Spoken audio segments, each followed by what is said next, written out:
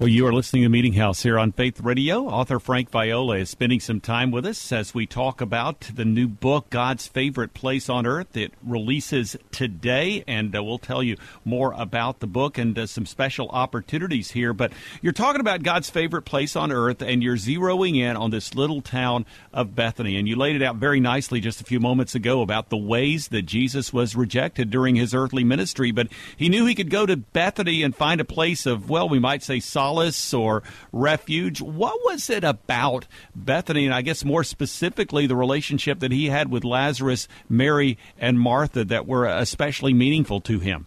You know what? They knew how to receive Jesus Christ. One of the passages in Luke says, and there was a woman named Martha and her sister Mary, and they received him into their home and they knew how to welcome him. And what I do in the book is I talk about how to properly receive Jesus Christ. See, here's the problem today. All Christians think they have received Jesus Christ, and in one sense we all have. But you know, it's a little bit more complicated than that. To receive Christ is to receive all that he is. For example, some Christians receive Jesus as the justifier of their sins, but then they reject him as the justice giver. Hmm. Uh, by contrast, some will emphasize his role of bringing justice to the world and they're into social justice, but then they downplay the fact that he is the Savior and justifier of all sins and all sinners. And uh, another thing we can do is, he said, He who receives me receives the Father, and he who receives you, talking to his disciples, receives me. Paul said, Therefore, receive one another just as Christ also received us to the glory of God. Well, to receive a person whom Christ has received is to receive Jesus himself. And what happens today in Christianity is sometimes, well, we, we like these Christians, we like their beliefs, we like their doctrines, we like the way they worship, but these other Christians here, well, you know, we really don't agree with them, this and that, and we really don't receive them. We end up rejecting them. And this is where a lot of hurt and pain comes from fellow Christians. And I want your listeners to know, Bob, that if they buy the book this week from May 1st to May 7th, we are going to give them 25 free books Say by what? 15 different authors wow. as a reward for ordering it on release week. And these are not cheapo books. Let me tell you, these are bona fide, published by real Christian publishers, by best selling authors. 25. They just have to go to godsfavoriteplace.com, and all the information will be there on how they can get God's Favorite Place on Earth and the 25 free books. But they have to order before May 7th. They have a week. Absolutely. Wow. Well, and I'm curious uh, with respect to how you developed this whole concept as you looked into Bethany. What kind of drew you there? What was the, the impetus here? The Gospels, Matthew, Mark, Luke, and John, are not arranged chronologically, and even the stories within them, they're not chronological. And so many years ago, I started looking at the Bible chronologically. I wanted to Yeah. find out, okay, what happened exactly in order? I ended up writing a book called The Untold Story of the New Testament Church that blends together the book of Acts and all of Paul's epistles as well as the other letters in the New Testament and told it as a story. And, you know, at different points in the book of Acts, I would say, okay, Paul is here and this is when he writes Galatians. So you can kind of see the whole sweeping narrative of the New Testament in one fell swoop, and you can get a feeling for when things happen. Well, when I did that with the Gospels, I saw that Jesus made trips to Bethany. And those trips lasted all throughout his life, where, as I said before, he spent the last week of his life in Bethany. And what's interesting about that, Bob, is he would not sleep in the city of Jerusalem. He would not spend the night there he would spend the day there the last Mhm. week of his life and then he'd retreat to bethany where he would find rest and solace and welcome and hospitality then he would get up in the morning with his disciples and they'd go into the city of jerusalem the only time he spent a night in jerusalem was when he was crucified and so I put it all together, and I had the help of other people. I've had other scholars look at this and help me with some of the details of the history behind it. And I just was able to, with God's help, blend together a very moving, gripping story of this little village of Bethany that many Christians aren't aware of. You know, one of the endorsers of the book, Phil Cooke, says, I got a PhD in theology, and I have never seen this narrative of the little village of Bethany and how important it was to the Lord. And I can say the same thing myself, although I don't have a PhD in theology. I'm not even a registered nurse, Bob, uh, let alone a doctor. But um, it really, really wow. was something that was arresting and beautiful and gives a real message to Christians to help them in the journey of life and in following the Lord. Well, Frank Viola has been joining us today here on the Meeting House on Faith Radio. It is release week for the new book, God's Favorite Place on Earth, and we're talking about events in the city of Bethany, some 18 issues that Christians struggle with as seen uh, through the eyes of Lazarus, as you put into a narrative form here. So, when people think about the city of Bethany, probably a couple of things come to mind. Lazarus and his resurrection. That's one of them. And then, of course, the story of Mary and Martha as, as Mary was sitting at Jesus' feet and Martha was circulating around trying to get ready for Jesus. And I understand that in this book, you actually present a, a bit of a unique take on this particular story. For many years, I was taught this, and I think many of your listeners were taught this. Mary is the very spiritual, contemplative woman. You know, she's too heavenly minded to be too earthly good. You know, she doesn't really care about helping her sister out in the kitchen, so they have this kitchen fight. And Martha's the opposite. You know, she is the activist. You know, she's the one that's down to earth. She's too earthly minded to be too heavenly good. You know, and so we're taught, well, everybody needs a little bit of Mary and everybody needs a little bit of Martha. Well, that's really not accurate. When you look at the text carefully and you look at the stories carefully, you never find Mary rebuked for anything. She's not corrected. In fact, two times Jesus defends her. And the second thing is, Mary is a very practical woman. And I bring this out in the book. But uh, she was there with Martha helping her in the kitchen the whole time, except at the end when Jesus went into the living public room his disciples were with him, and they all sat down together because this is what disciples did. They sat down at the feet of the rabbi. They're sitting on the floor. Jesus is teaching. There's only men in there, and Mary does something arresting. She leaves the kitchen area, which really was the courtyard of that day, and she goes into the public room and she takes a seat with the other disciples. This is a an elephant sticking out in the room. This is a woman sitting in the public room. In that day, women yeah. were not allowed to be in there. Mm-hmm. And secondly, this is a woman sitting at the feet of a rabbi, of a Jewish teacher. That was unheard of. It was scandalous. And so Martha was really angry because her sister was acting like a man. Hmm. And Jesus, of course, defends Mary and gives a very gentle rebuke to Martha and we see Martha's change throughout the narratives of Bethany. And by the very end, when her sister Mary takes a flask of fine perfume, very costly, and pours it on the head and the feet of Jesus, Martha is there and she has no word of criticism. She's still serving, but she's not doing it in her own flesh. She has been transformed by Jesus Christ.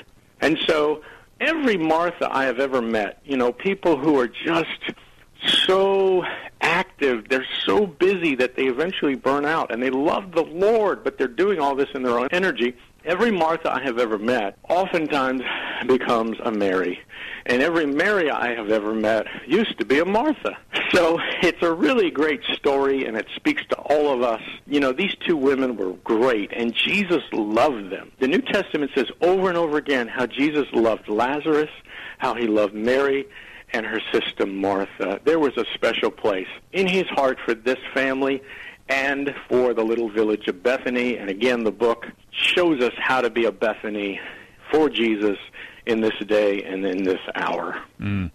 Well, some great insight for us today. Frank Viola spending some time here on the Meeting House on Faith Radio. Releasing today, it's God's favorite place on earth. And Frank, if people go to godsfavoriteplace.com, don't put that apostrophe in there, by the way, when you type in the address to your browser, but godsfavoriteplace.com, what can they find there? Yeah, well, they will find all sorts of neat stuff about the book, including a video trailer, which is very short, but it looks like one of those movie trailers. Yeah, yeah. it's really amazing. And you hear Lazarus talking 30 years later after Jesus raised him from the dead. And it's a great introduction to the book. They will also find that if they order the book between May 1st and May 7th, they will receive 25 free books and audios. I will have the whole list of everybody who's involved in that, all the authors, and they will get that as a free reward. We want as many people as possible to buy the book on May 1st to May 7th because it will help the book become visible to more and more Christians. And I really believe that this will help so many believers. It's helped me. The message has helped me. That's why I hmm. wrote it. Frank, exclamation point of our conversation, 60 seconds or less. What's the takeaway? What would you want Christians to take from this particular book?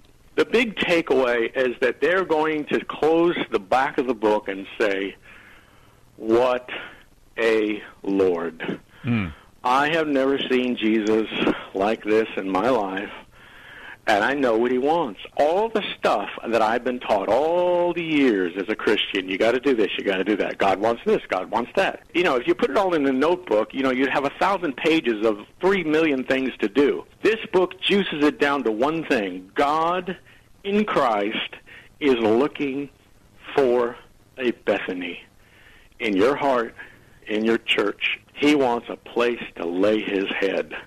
And in that vision of being a Bethany, I want to be a Bethany for my Lord. He was rejected everywhere else, but now here in me, he can find a home.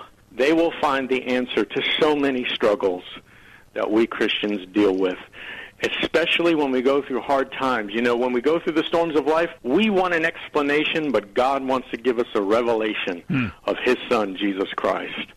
And that's what the book is all about. Well, Frank Viola joining us today, one of America's top 10 Christian bloggers. God'sFavoritePlace.com is the website address. Welcome to ChristianBook.com. My name is Amy Courage, and today we are speaking with author Frank Viola. We're going to be talking about his newest book, God's Favorite Place on Earth. And Frank, thanks for being with us today. Thank you. It's always an honor to be on. Great. Now, what motivated you um, to write this particular story, this this you know sto- story of faith? Well, a couple things. First, the story of Jesus in the little village of Bethany has always intrigued me. And I wanted to put it all in chronological order because it's all spread out through the Gospels. But it's such a powerful narrative within the New Testament that I wanted to bring it all out and tell it from beginning to end and just to put it in bold relief so we can see it. The other thing that motivated it is that the message of that story of Jesus in Bethany, a little village of Bethany, changed my own life in many different ways. And uh, as I say on the website for the book, godsfavoriteplace.com, it addresses 18 specific struggles that we Christians have. So I wanted to share that message with others because it was so powerful and formative in my own life, and I found it to be transformative. I wanted to share it with others, uh, hoping it would have the same effect. Great. And could you give us um, a bit of a summary of the book's content and explain the meaning of the title for us? God's favorite place on earth, you know, it raises a question, I'm sure, in, in the minds of readers, you know, well, what is that? And how do you know that? what is God's favorite place on earth and how can we be sure? We know that Jesus of Nazareth is the human face of God. When God decided to show up on planet earth, he took form in the person of Christ, and we call that the incarnation. So Jesus is God in flesh. And as soon as Jesus entered into the planet, he was rejected from the womb to the tomb, actually. Uh, he was rejected in Bethlehem when he came to be born. You know, there was no room for him there. So he had to be born where animals were fed. Then when he's two years old, he's being hunted like an animal by Herod. Then we're told that his brothers and sisters did not believe in him. And then we're told that his hometown, his own hometown where he grew up, Nazareth, rejected him. You know, remember that the scripture says that he could not do many mighty works there because of their unbelief. And Jesus made a big statement where he said, a prophet has honor except in his own home. And then, you know, he, he wants to go to Samaria and they reject him there and that's when John and James wanted to bring fire down from heaven because they rejected Jesus. And then finally, Jerusalem, which was the place where God put his name. It's where the temple was. It's the holy city. They not only reject him, but they crucify him. Jesus made the statement, foxes have holes and birds have nests, but the Son of Man has nowhere to lay his head. John says he came to his own, and his own received him not. So with all of this universal rejection, we have a little glimmer of light. There was only one place that totally and completely and properly received Jesus Christ.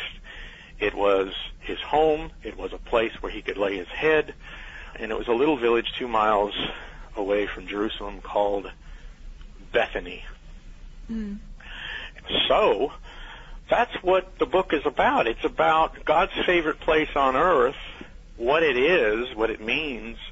What God is looking for today is that each and every one of us be a Bethany for Him a spiritual Bethany, that we be a Bethany for Christ, a place where he can lay his head and find rest and be at home, and every church would be a Bethany, and that is the call of the book, and that's what the book unfolds.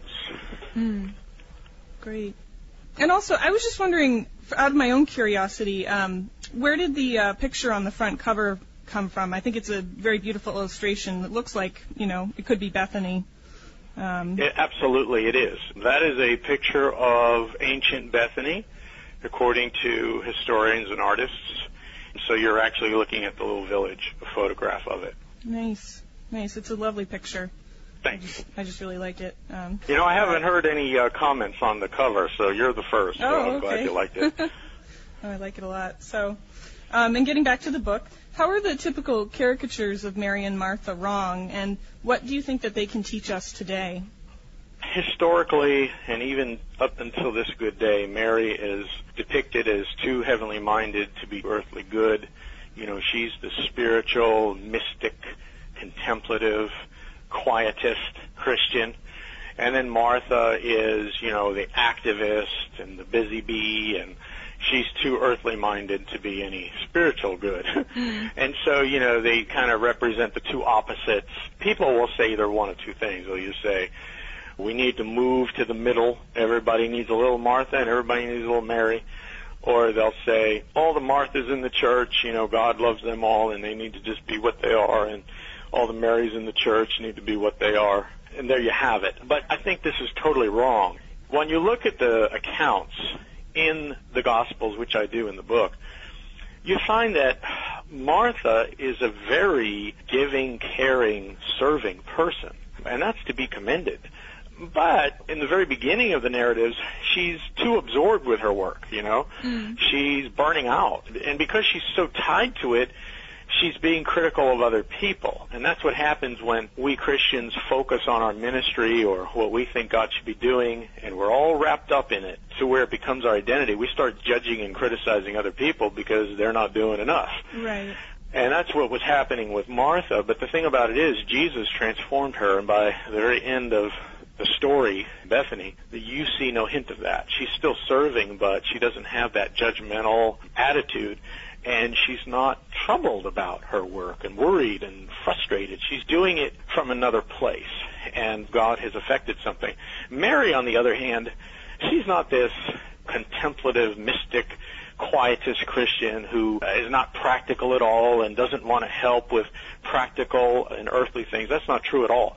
She was helping Martha in the kitchen when Jesus came to visit Bethany. Mm-hmm. The scripture is clear. What she did do, however, is that soon as Jesus began teaching, some point after he began teaching in the public room, the disciples were there, obviously.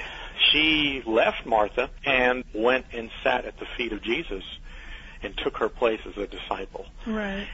And what was so astounding about that is that in that day, only men were to be in the public room. And Jewish rabbis only had women to be their disciples. So this was unheard of. I mean, she was breaking two cardinal rules of that day. You know, one, you're a woman, you don't go in the public room. And two, how dare you be a disciple of a Jewish rabbi by taking your place at his feet like the men, because that's reserved for men. And here's the thing. Jesus never criticized her for it. Right. He actually defended her when Martha was all up in arms because she was acting like a man when she should be acting like a woman and be there in the kitchen. Jesus defended her, and she was criticized again later on by the disciples, even, and Jesus defended her again. So Mary of Bethany is my hero. Two great defenses of her from Jesus, and then beyond that, Jesus said everywhere the gospel is to be preached, her story of what she did is to be heralded and proclaimed. This woman is to be honored wherever the gospel is preached. Right. And so for the last 2,000 years, Mary has been spoken well of by Christians who bring the good news. Now, that makes me want to be a Mary. And here's the interesting thing. Every Mary I have ever met, meaning, you know, taking upon themselves the spirit and the attitude and the love for Christ that Mary had, used to be a Martha. Hmm. They just burned out right, right, and uh, found the Lord in a higher way. right. And um, what do you see as uh, being the major problems that many Christians today struggle with, and, and how is your book addressing those those problems? I give a, a listing of 18 specific struggles that Christians have uh, because I've had them and wrestled with them and found some discoveries of the Lord that helped me through them and helped me overcome and solve them. And so all this is in the book. Here's the thing. We have to find the Lord in a new way, in a fresh way, to solve any problem. And what I do in, in the book through the message of Bethany, Jesus in Bethany, is bring out how these problems were solved. I won't rattle off all 18, but I'll just mention a few of them. How do you gain God's peace and presence in the midst of your worst storm? How do you truly forgive and release people who have rejected you, especially fellow Christians, Right. if they've unjustly criticized you or if they have treated you terribly? How do you keep from getting bitter? How do you learn how to live life without fear of anything? How do you trust God when He doesn't meet your expectations or He doesn't appear to fulfill His promises? You know, these are real issues we face that challenge us. And so in the book, I address them as I tell the story of Bethany. And of course, as you know, the book tells the story of Jesus and Bethany through the eyes of Lazarus.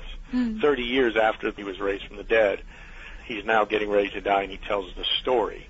So there's a bit of a fictional element in it, but it stays very close to the biblical text and really brings it into 3D life, at least that's what I'm told. And, you know, I want to say, too, that if listeners get the book between May 1st and May 7th, they can go to godsfavoriteplace.com and they will be rewarded with 25 free audios and books by 15 different authors, just as a thank you for getting it on release week.